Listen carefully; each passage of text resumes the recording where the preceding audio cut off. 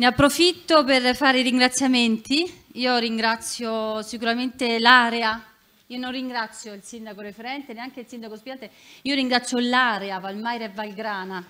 per questa, per questa, accoglienza, ringrazio Regione Piemonte rappresentata ai suoi più alti livelli con la, con la quale la collaborazione è stata eh, eh, forte ed efficace in, in, questi anni. Ringrazio ovviamente il Formez per tutto lo sforzo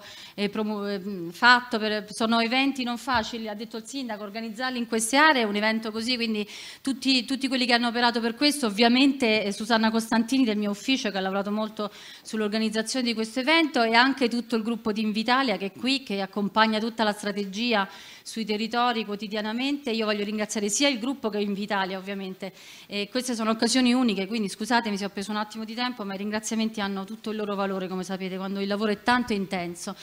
Allora, a me l'onere di, di, eh, Qualcuno ha detto la Lucatelli parlerà un'ora, lo sapete che non è il mio stile, non l'ho mai fatto, quindi il più rapidamente possibile volerò... Io volevo iniziare dicendo che il primo risultato diciamo, di, questo, di questo intenso anno di lavoro è stata la selezione di, tutta, di, tutte le, di, tutte le, aree interne del paese, quindi la strategia ormai copre 72 aree, l'ha già detto il Ministro, quindi andrò veloce, Trattasi di 1077 comuni, 3,5% della popolazione totale e il 16,7% dei territori. Questa è diciamo, la geografia ormai definita delle aree interne, che ha come novità importante, segnata dal lavoro e dall'impegno di questa legislatura, che queste tutte e 72 le aree sono oggi finanziate sia dalla, dalle risorse nazionali della legge di stabilità che come sapete dalle risorse regionali messe da parte all'interno del, della programmazione. Ehm, la seconda slide era dedicata alla, che ve la racconto perché non si vede, non importa, la mappa delle cinque aree terremotate, questa è importante ricordare che quest'anno è stato molto concentrato sul lavoro intenso di conciliare ricostruzione e strategia, che diciamocelo è stato molto molto molto impegnativo. Okay? Cinque aree interne interessate dal terremoto del 2016 e dalle scosse ripetute nel gennaio del 2017. E la quinta area non era un'area interna, quindi il cratere era interessato da quattro aree, c'è stata la richiesta esplicita sia del Ministro che dell'allora commissario Errani di allargare il perimetro delle aree interne all'area dell'Alto Aterno, quindi quest'anno l'abbiamo dedicato anche alla selezione di questa, di questa, quinta area e quindi siamo arrivati alla definizione della, della geografia delle aree interne. Queste 72 aree sono caratterizzate da una particolarmente spinta perdita della popolazione, quindi questo significa che il Comitato e le regioni con il lavoro intenso di campo e di territorio hanno, sono riuscite a selezionare, come chiedeva l'accordo di pertinerato, le aree che maggiormente perdono popolazione, sono aree caratterizzate da un particolare invecchiamento e, e come è stato ricordato anche stamattina dal Ministro sono aree che sono colpite da un più forte digital divide. La novità di questa tabella che vi porto, che vi avrei voluto mostrarvi oggi ma che avrete anche nella reazione al CIPE eh, è che abbiamo potuto anche fare un'analisi reddituale grazie alla collaborazione con ANCI IFEL e vediamo, e, e vediamo eh, sancito questo gap che sappiamo anche dal punto di vista del reddito medio imponibile che è circa di 20% fra le nostre 72 aree e il, il reddito IRPEF dell'Italia. Due, l'altra parte della presentazione l'ho dedicata al tema delle diseguaglianze perché ricordiamo, non l'ho ricordato in apertura, che siamo all'interno della settimana ASVIS sullo sviluppo sostenibile, siamo all'interno dell'intenso lavoro, siamo diciamo, parte, in partnership con l'intenso lavoro del forum sulle diseguaglianze e quindi eh, oggi eh, volevo dedicare questa presentazione anche a riflettere con voi su alcune caratteristiche delle diseguaglianze delle aree interne rispetto alle, alle aree del Paese. Alcune sono strutturali, e la, ne ha fatto cenno eh, precedentemente il Ministro quando parlava di aree caratterizzate da class, dalla presenza di eh, classi molto piccole, quindi da plessi, da plessi, molto piccoli, da classi fino a, fino a 15 alunni, che sono il 42% nelle aree progetto, eh, a fronte del 19% in Italia. E sempre queste aree, queste aree sono caratterizzate anche da un tasso di mobilità molto elevato, perché abbiamo una, un tasso di mobilità dei docenti. Ah, ce l'abbiamo fatta, ottimo, grazie. Io salto le, le, precedenti, tanto le ho raccontate, poi le vedrete. Stiamo sulla, sulla Sulla, sulla, disuguaglianza dal punto di vista dell'educazione, quindi vediamo eh, il tasso di mobilità dei docenti particolarmente elevato nelle aree progetto, nelle nostre 72 aree, che è un 12% a fronte del 10%, e, e un, altro, un, altro, eh, un, altro, indicatore delle disuguaglianza eh, sono i due indicatori degli esiti, sia della matematica che dell'italiano nelle classi di, di, nella competenza in matematica nelle primarie di primo, del, nelle secondarie di primo livello e la competenza in italiano. In tutti e due i casi abbiamo un gap di due punti percentuali, quindi un, un gap rilevante. Passiamo adesso alla descrizione di alcuni aspetti della disuguaglianza invece dal punto di vista eh, sia della, della strutturale, eh, diciamo, ehm, ehm, della remoteness, no? della, della, della, distanza media di questi comuni dai poli, che poi lo sappiamo, l'abbiamo selezionati così, quindi abbiamo 47 minuti dal polo più vicino, e questo ovviamente si traduce in una serie di difficoltà dal punto di vista sanitario. Innanzitutto questo, questo tempo molto lungo di percorrenza tra la chiamata dell'urgenza e l'arrivo della tombulanza. Questo è l'indicatore, forse è uno degli indicatori simbolo diventati di aree interne, su cui torno, con tutti i territori ci abbiamo lavorato tantissimo. Adesso vi farò vedere quello che abbiamo costruito in termini strategici e di progettazione. Eh, bene, eh, 25 minuti sono molti, io vi ricordo che alcune aree, le aree più interne arrivano a volte anche a 40 minuti. E, e, e sempre dal punto di vista sanitario il, ehm, Oggi, mentre, così, mentre, mi preparavo stamattina molto presto, ho, messo un cerchio con questi due indicatori perché trovo che l'ospedalizzazione inappropriata e le prestazioni basse in specialistica, questi due indicatori vanno letti veramente insieme, perché significa che non solo facciamo un uso inappropriato dell'ospedale, che già di per sé è un simbolo della non capacità della rete territoriale sanitaria di, di far fronte a quello che dovrebbe fare, ma il fatto di avere anche una specialistica più bassa significa che non solo questi cittadini sono costretti a rivolgersi all'ospedale e, e andando anche molto spesso, non, ricordiamoci che molte delle nostre aree non hanno, come sapete bene, un ospedale, quindi si spostano e fanno chilometri e chilometri per andarsi a curare in maniera inappropriata negli ospedali, ma allo stesso tempo non c'è neanche una specialistica adeguata presente sul, sul territorio. Quindi soltanto alcuni aspetti. Adesso eh, vi spaventerò perché un'ora delle Lucatelli implica anche qualche, qualche grafico un po' più così, eh, eh, però questo ve lo semplifico tantissimo, è facile, però io lo trovo tanto eloquente. Questo, questo, grafico ci dimostra come ci sia una, una leggera, anche se, anche se, leggera, perché sapete che sono pochi elementi che osserviamo, quindi qui Andrea Faccini e tutto il mio gruppo statistico che ringrazio mi spiega che le correlazioni quando le analizziamo su pochi casi come questi non, non sono particolarmente significative, però noi cominciamo, vediamo chiaramente che maggiormente l'area è distante eh, eh, dalla, eh, dalla, dal polo, quindi maggiormente, una, maggiormente c'è un fenomeno di, di, di eh, mobilità de, de, dei docenti, quindi è una caratteristica particolarmente legata alla distanza e quindi alla caratteristica vera e propria delle aree interne. E poi vediamo anche questi questi pallini rossi, questo con cui eh, è disegnato il sud, e vediamo eh, eh, queste crocette. Quindi vediamo pure insomma, come il fenomeno, lo sappiamo, non ci sorprende, però anche nel caso di aree interne è più marcato nelle, nelle aree interne de, del sud. Quest'altro invece che assomiglia a quell'altro è, è anche particolarmente interessante, sempre il tempo di emergenza-urgenza, questo è particolarmente interessante perché vediamo che se in media tutte le aree interne del paese, le 72 parlo sempre, se in media hanno un, un tempo di emergenza-urgenza più alto della media del paese che è di, di, di, di 15 minuti, di 17 minuti, e vediamo anche come non necessariamente in questo caso sia la distanza dalla, dalla, eh, dal polo che spiega la particolarmente poco efficace organizzazione del servizio. Quindi questo significa che c'è un margine che poi è il margine che ci prendiamo noi, no? in aree interne, ovviamente eh, come ha ricordato anche bene il sindaco referente, in maniera il più possibile coordinata con le politiche ordinarie, perché non potrà fare tutto ore interne, però c'è un margine di miglioramento della politica che in questo caso passa proprio per il miglioramento dell'organizzazione sanitaria territoriale. Veniamo all'avanzamento dei lavori in aree interne, queste sono le mappe che ormai siamo abituati a condividere a ogni forum e le ho dovute semplificare perché ormai le aree sono 72, quindi ho abbandonato il modo in cui le analizzavamo sempre, prima, seconda delibera, terza delibera, ho messo qui tutte e 72 le aree insieme e, e, e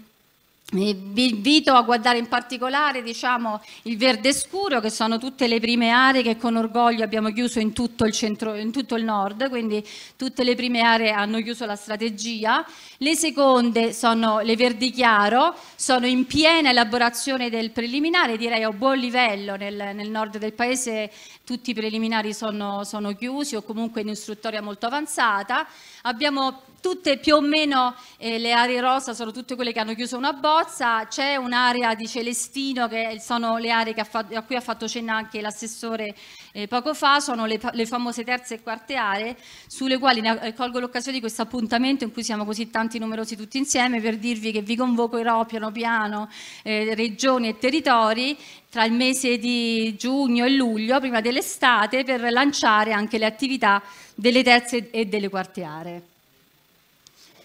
E nel centro abbiamo una situazione sostanzialmente simile a quella analizzata al nord. Vedremo che insomma, le tre parti del paese si stanno muovendo con una con una velocità, per quanto riguarda il disegno delle strategie, una velocità abbastanza, abbastanza simile, quindi non registriamo una, una, particolare difficoltà, se non in, in, qualche aspetto, e ovviamente in questo caso per esempio la, la difficoltà è legata all'area del cratere, non ci sorprende, l'area del terremoto sulla quale abbiamo, abbiamo, dedicato tantissima attenzione, abbiamo anche cercato in accordo con, l'agenzia di semplificare il processo, quindi abbiamo dato la possibilità di, di abbreviare eh, le tre tappe e mm, passiamo direttamente ad un preliminare strategia per le aree del terremoto, anche per mandare un messaggio così di, di concretezza. Di, e, ovviamente, come vedete, abbiamo un'area un po' più avanzata che è quella del Piceno, abbiamo il Maceratese pure che sta stringendo sul preliminare e abbiamo invece l'Alto Aterno su cui stiamo per iniziare, abbiamo appena approvato la, la bozza e, e, e l'area del, del, di Nocera pure che, che, che sta ancora insomma, iniziando iniziando i lavori. Veniamo al mezzogiorno, qui abbiamo, stiamo stringendo, possiamo dire, abbiamo qui il rappresentante della Regione Calabria, possiamo dire che stiamo stringendo l'ultima area eh, del, che deve chiudere la strategia di tutte e 23, eh, che è l'area de, dell'R20 Savuto, che anche sta, sta chiudendo con un forte impegno perché sta prendendo decisioni importanti. Io voglio ricordare che le aree che decidono di fare un plesso unico ci prendono un po' più di tempo perché comunque mettere devono mettere d'accordo i sindaci per una decisione importante come quella di costituire una scuola, un'unica scuola, quindi sono aree più faticose, vediamo che comunque abbiamo chiuso eh, tutte, le, le aree, mh, eh, tutte, le, aree, pilota, quindi abbiamo i Monti Dauni che hanno chiuso, hanno ha chiuso la Marmilla e, e, e abbiamo, eh, abbiamo un discreto avanzamento anche in queste aree, stiamo lavorando intensamente su un impegnativo, un impegnativo preliminare sia nelle aree dei Nebrodi che della, della, del Sud Salento, mentre la Grecanica ha già chiuso il preliminare.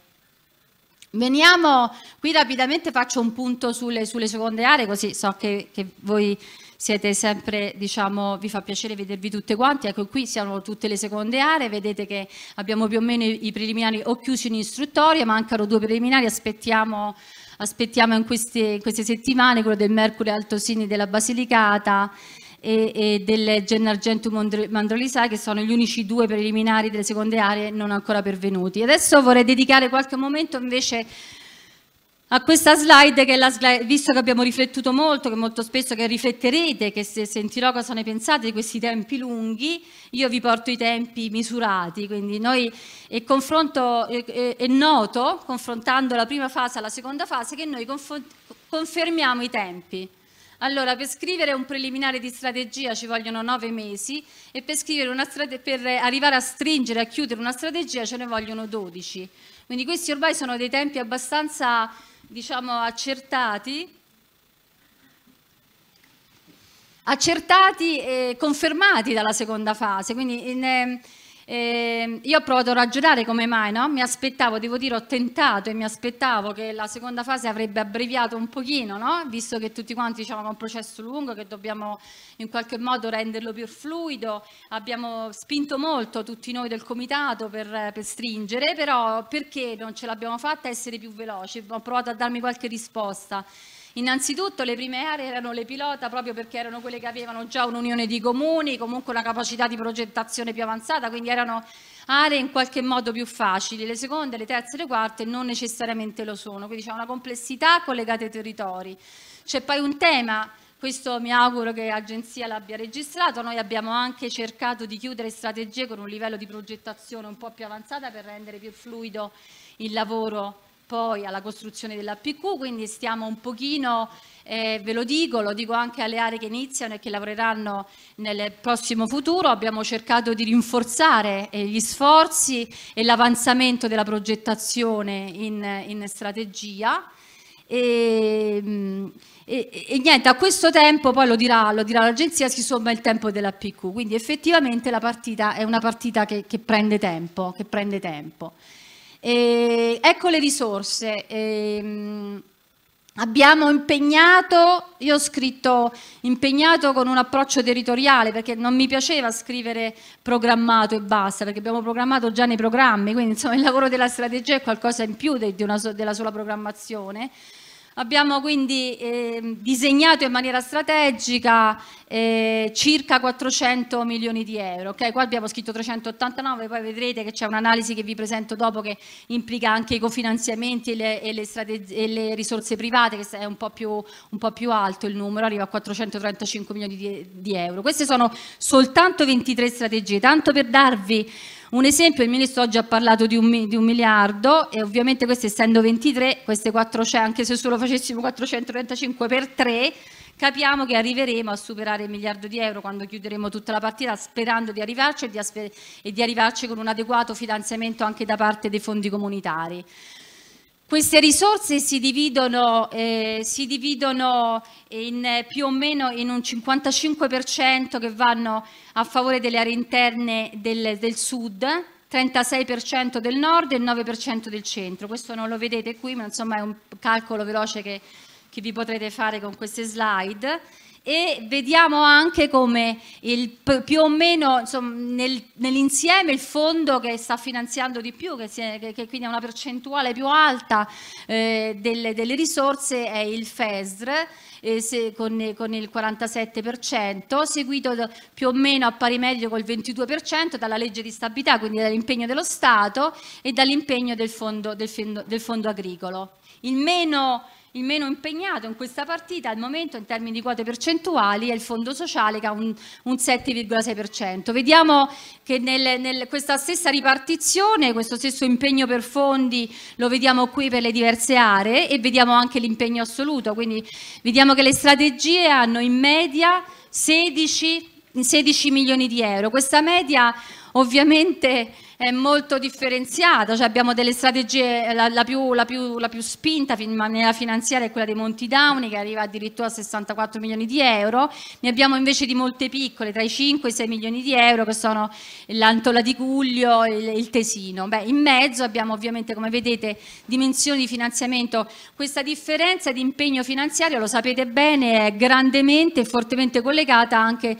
alle risorse finanziarie che erano state messe da parte all'interno dei, dei, fondi comunitari e anche alla capacità progettuale di espressione dei territori e, e all'impegno particolare che hanno preso al solo alcune regioni del Mezzogiorno, in questo caso per esempio l'Irpinia e i Monti Dauni, sul, sullo sforzo di infrastrutture stradali, che sono poi anche risorse che hanno parecchio alzato il peso finanziario delle strategie. Veniamo adesso ai risultati. Eh? Io presento i primi risultati.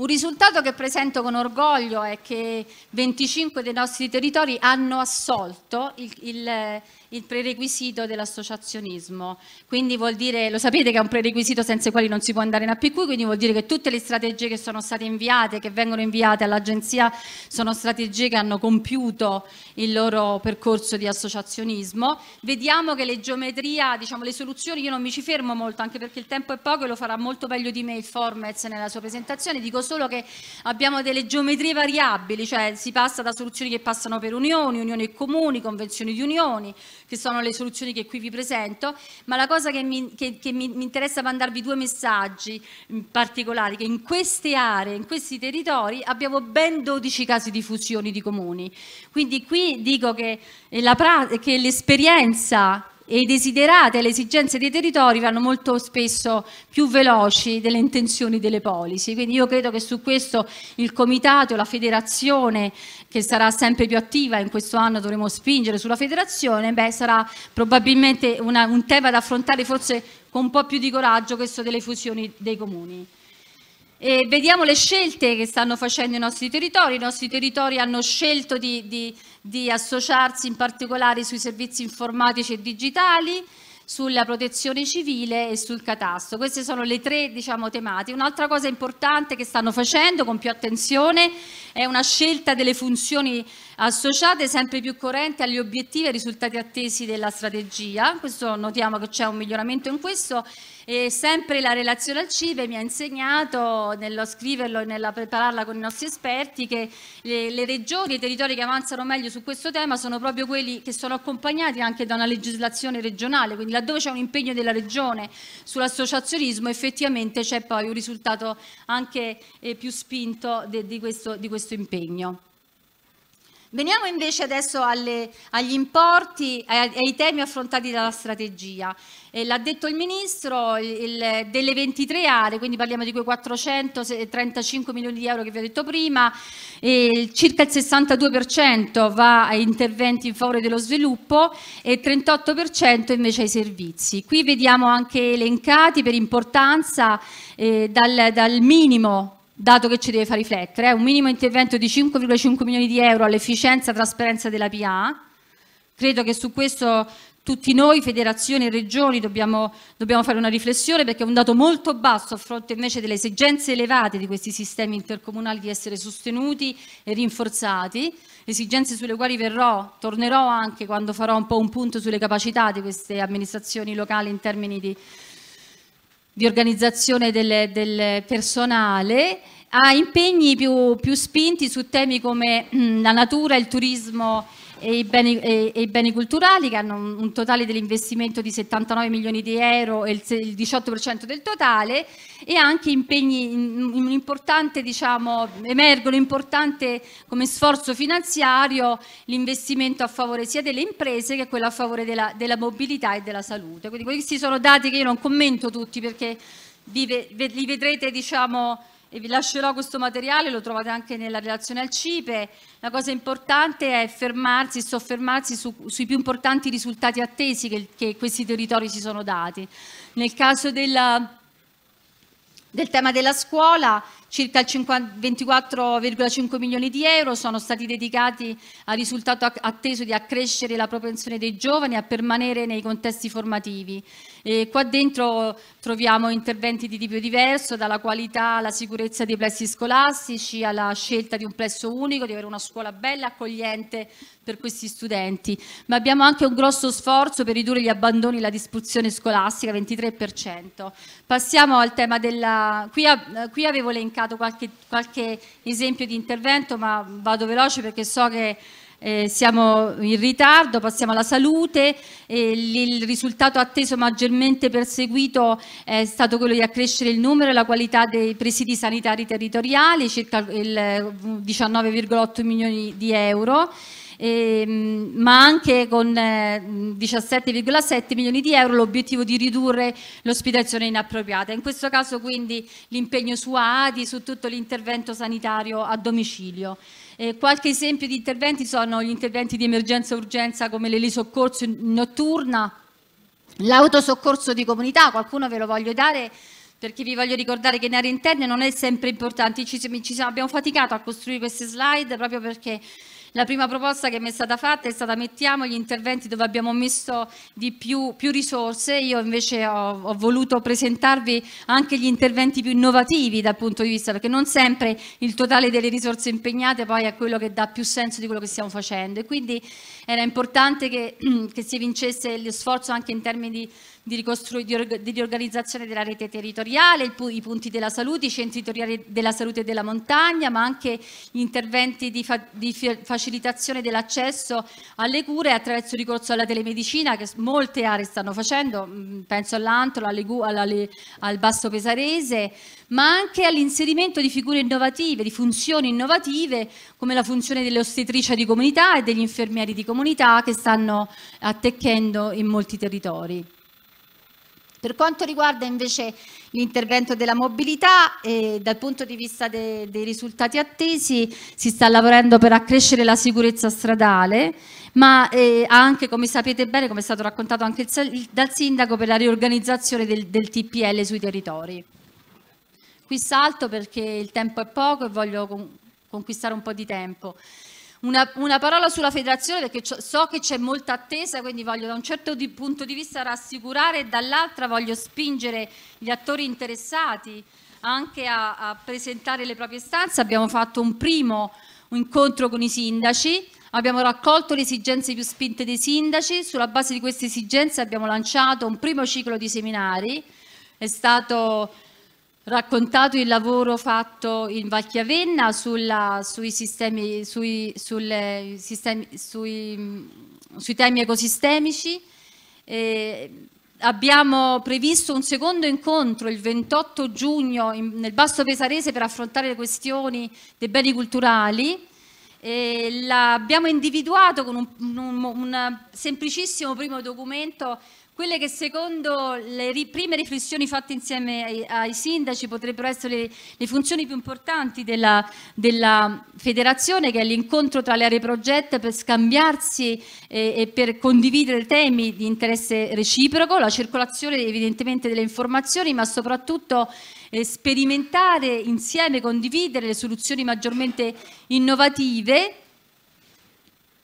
è una, una, una, funzione sulla quale io credo la, la, le, sia molto importante, quella che sarà la funzione della federazione, è proprio quella di ricordare alla normativa nazionale il ruolo di sperimentazione di queste aree, anche nell'importanza di poter spingere a degli avanzamenti sulle normative che noi sappiamo essere importanti per poter fare un, un, un passo in avanti. Sempre in termini di riflessioni finali voglio portare qualche statistica sulle dotazioni eh, di personale dei comuni, dei nostri comuni, delle nostre 72 aree. Qui porto dei dati un po' dei dati sconfortanti perché vediamo come il totale, eh, la maggior parte del, de, de, de, innanzitutto il dato che mi ha colpito di più è questa perdita, questa diminuzione proprio no? del personale dal, che, che, scende del, eh, da, da, un anno all'altro scende proprio la dotazione di personale. In più trattasi di personale di, con età molto avanzata e è ancora di più preoccupante il fatto che eh, i laureati sono molto pochi e, e che eh, sono per la maggior parte eh, personale che, che, che, si ferma diciamo, al, al livello di, di, di, diploma. Quindi io li, li, commenteranno maggiormente gli esperti, però io credo che noi dobbiamo tutti quanti, anche nell'idea di una governance eh, più strettamente de dedicata all'attuazione, ragionare molto perché se non si, si, non si prenderà un impegno di rinforzo di queste compagini locali, insomma tutta la tenuta della partita a mio avviso è a rischio. Arriviamo alle conclusioni. Eh, luci ombre, l'ho chiamato bene e male, forse, forse, è meglio chiamarlo luci e ombre. Partiamo dalle luci, è sempre meglio partire dalle, dalle luci e poi ci soffermiamo alle ombre. Cosa stiamo facendo? 450 milioni di euro programmati, la collega ci dirà più o meno il 50%, se, no, se non erro, già in APQ, quindi già in piena attuazione. È un buon risultato. Ricordo, tanto per per darvi un'idea, no? per dare un senso di grandezza a questo numero, che il, che il POM metro eh, rappresenta il doppio. Quindi vuol dire che quando noi chiuderemo, chiuderemo per le nostre 72 euro una cifra che si avvicina a quella che è il programma e, e lo supererà il programma del POM metro. Stiamo sperimentando con fatica, è stato detto in apertura, lo, dice sempre, lo, di, lo, dicono, lo diciamo un po' tutti, stiamo presentando un approccio place-based difficile,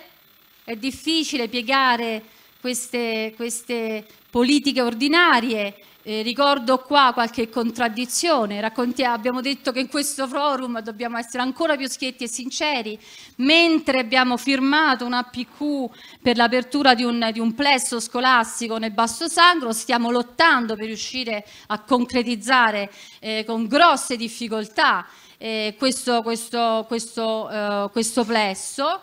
Eh,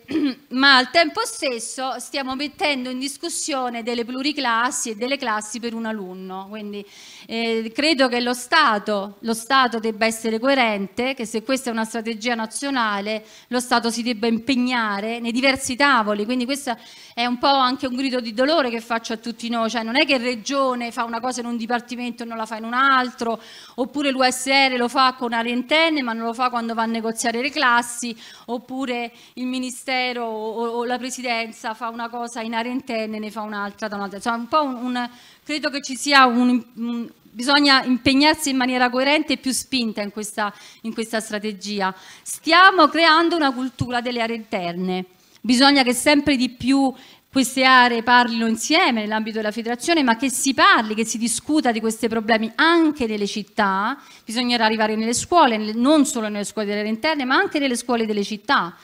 e quindi insomma è un lavoro, un lavoro che ci aspetta, c'è un tema proprio di, eh, ci sono sempre più università, ricordiamo l'impegno sempre più profuso delle università, si stanno aprendo corsi sulle aree interne, master, e sempre più università si associano, abbiamo dei, delle, degli accordi nell'ambito dei lavori di istruttoria che stiamo facendo, nelle aree del terremotato abbiamo un accordo fra quattro università importante, nelle, nelle Marche abbiamo un'università impegnata nell'Alto Aterno. E stiamo introducendo figure innovative, l'ho già detto, e stiamo soprattutto accompagnando, come vi ho fatto vedere, processi importanti di associazionismo. Quali sono le minacce?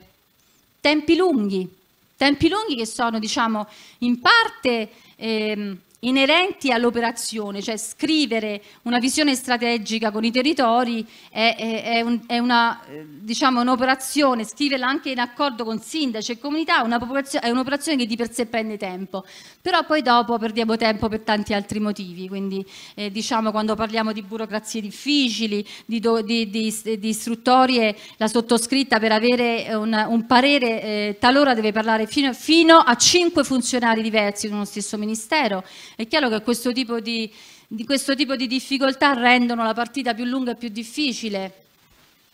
Molto spesso eh, si dimentica che è una partita a tre livelli, quindi si va avanti in solitaria, il centro va in solitaria la regione, queste cose non aiutano, io dico sempre che è meglio un, un invito al comitato che partecipa a delle riunioni in regione, è meglio un invito in più a una regione che venga a Roma, perché dialogare insieme semplifica, perché è inutile costruire tutto un pezzo di partita se poi si deve ridisegnare a Roma perché a Roma non va bene, quindi poi si ridisegna eh, a Genova o, o, o, o dove sia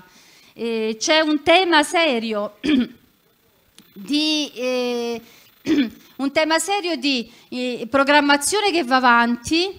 e di messa a rischio dell'innovazione e del coinvolgimento degli attori innovatori sui territori. Questo dobbiamo essere sinceri. Tante esperienze che abbiamo intercettato non siamo riuscite né a portarle avanti né ad assicurare di progettazione, non siamo riusciti a far corrispondere la progettazione laddove c'erano le idee migliori un po' perché la programmazione come è disegnata e quindi ci vuole un impegno, lo dico qui perché abbiamo le regioni, ci vuole un impegno dello Stato e delle regioni a fare in modo che la progettazione integrata territoriale nel prossimo periodo di programmazione abbia delle regole che gli permettano di operare nella, nella maniera eh, più facile possibile e c'è poi un tema di sostenibilità a tutti i livelli. È un'operazione innovativa proprio perché innovativa ha bisogno di risorse. Io qua ricordo che tutto il comitato opera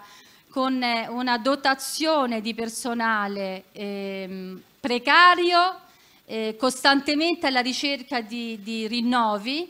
Eh, ricordo che sono sottostaffati sia gli uffici, tutti gli uffici, quindi noi facciamo miracoli nel chiudere eh, accordi di programma quadro con, con, uffici che seguono tantissime altre regioni, tantissimi altri impegni, operiamo anche alle, nelle regioni, molto spesso le regioni hanno lamentato questo problema perché Area Interna è entrata dentro uffici regionali che non sono stati rinforzati, idem eh, a, a, livello locale, quindi se una strategia viene, viene lanciata deve, deve anche essergli assicurato diciamo, la capacità proprio dal punto di vista della dotazione e dell'organico delle, de, delle, a disposizione per poter essere perseguita. L'attuazione sarà un momento, lo, ce lo siamo detto, ce lo diciamo sempre con il lavoro intenso che facciamo in, queste, in questi mesi con l'agenzia, L'attuazione deve essere sorvegliata a tutti i livelli, e ci deve essere quindi un, deve essere un forte indirizzo e una forte volontà politica, quindi qui, qui ce la giocheremo molto nel prossimo di, nel prossimo governo, ci vuole però anche organizzazione, capitale umano, trasparenza e, e, e ricordo anche quest'idea dell'accountability. Abbiamo disegnato una partita sui risultati attesi, bisogna che i sindaci e le comunità locali utilizzino questi risultati anche con l'aiuto del comitato e dell'agenzia per fare in modo che le comunità locali possano diventare se stesse, che possano domandare loro che questi risultati vengano raggiunti. Per questo invoco l'organizzazione dei territori, delle comunità dei territori, anche dal punto di vista delle, della comunicazione locale. Noi notiamo che ancora non siamo conosciuti. Noi passeggiamo nelle vostre aree e ci accorgiamo che non si sa cos'è la strategia delle aree interne. Quindi qui io chiedo un impegno rinnovato ai sindaci, adesso avete le risorse di assistenza tecnica, fate in modo anche di avere una, di avere una radio, di avere dei giornalini dentro le scuole, perché se questa strategia no, non viene comunicata alla cittadinanza avrà poco, poco futuro. c'è poi il tema, eh, last, last but not least, direbbero gli inglesi, questa rigidità questa rigidità della legislazione che voglio, l'anno scorso ho detto lo stretching, quest'anno dico ancora peggio.